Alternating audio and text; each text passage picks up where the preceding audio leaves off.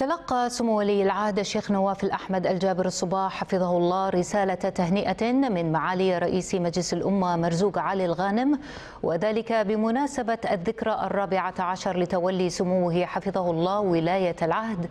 أعرب فيها باسمه وإخوانه أعضاء مجلس الأمة عن أزكى آيات التهاني وأسمى عبارات كتبت بمداد من التبجيل وإخلاص العهد والولاء بهذه الذكرى المباركة مستذكرا ما حققه سموه خلال مسيرته الجليلة والتي هي مدعاة للفخر والاعتزاز لكل أبناء الوطن الغالي.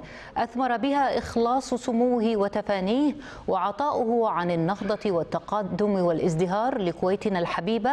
سائلا الله العلي القدير بكريم منه ومزيد آلائه أن يحفظ سموه ويمتعه بالعمر المديد وهو ينعم وهو ينعم بموفور الصحة وتمام العافية وأن يبقيه ذخرا وعزا لوطننا العزيز الكويت ولشعبه الأمين وسندا وعضيدا لحضرة صاحب السمو أمير البلاد الشيخ الصباح الأحمد الجابر الصباح حفظه الله ورعاه إنه سميع مجيب الدعاء.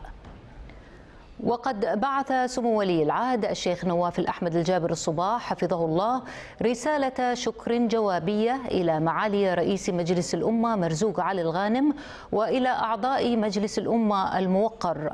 أعرب فيها سموه عن بالغ شكره وامتنانه على ما تضمنته تهنئته من طيب المشاعر وخالص الدعوات سائلا المولى تبارك وتعالى أن يديم عليه موفور الصحة وتمام العافية وأن يرشدنا جميعا الصواب لأجل خدمة وطننا الغالي وأن يديم الأمان والرخاء على كويتنا الحبيبة وأهلها الكرام في ظل القيادة الحكيمة لحضرة صاحب السمو الشيخ صباح الأحمد الجابر الصباح أمير البلاد المفدى.